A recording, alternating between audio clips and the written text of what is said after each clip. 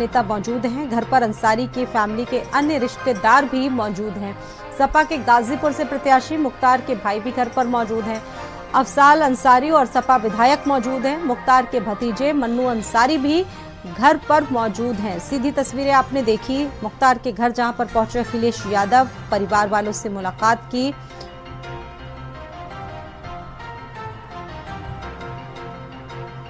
मुख्तार अंसारी की मौत हो चुकी है, लेकिन सूबे में चुनाव नज़दीक है और ऐसे में सबसे बड़ा सवाल जो है, मुस्लिम वोट बैंक किधर जाएगा? उसको लेकर लगातार इस वोट बैंक की नब्ज पर सभी जो राजनीतिक दल हैं, वो हाथ रखने की कोशिश कर रहे हैं। और आपने देखा होगा कि इससे पहले भी तमाम जो चुनावी दौरे हैं, वो जहाँ राजनेता कर रहे हैं, वहीं दूसरे दल के जो लोग हैं, वो यहाँ पर पहुँचे। इससे पहले ओवैसी पहुँचे खुद सपा नेता धर्माई धर्मेंद्र यादव पहुँचे और आज अखिलेश यादव पहुँचे हैं। आशुतोष जुड़ गए हैं इस खबर पर। आशुतोष, क्या तस्वीरें वहाँ से सामने आ रही हैं अभी?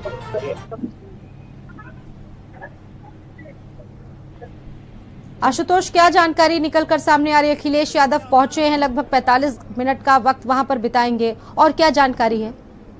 जी, बिल्कुल आपको बता दें, अखिलेश यादव आपसे पहुँच गए हैं मुख्तार अंसारी के, जिसे शासक के नाम से जाना जाता है। और वो परिजनों से मुलाकात कर रहे हैं।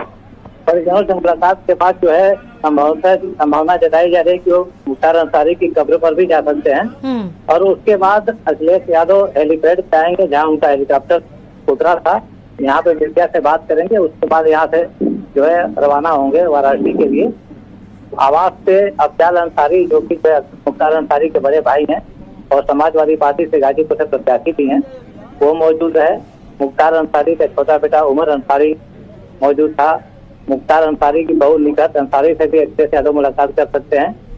और शोएब अंसारी जो कि मुख्तार अंसारी के भतीजे हैं, वो भी आवास से मौजूद थे। इन सभी लोगों से अखिलेश यादव ने मुलाकात की है।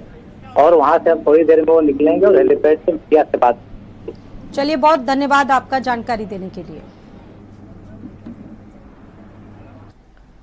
रायबरेली में अमल अमरपाल मौर्य ने अखिलेश यादव पर हमला बोला। राज्यसभा सांसद और बीजेपी के संगठन महासचिव हैं अमरपाल।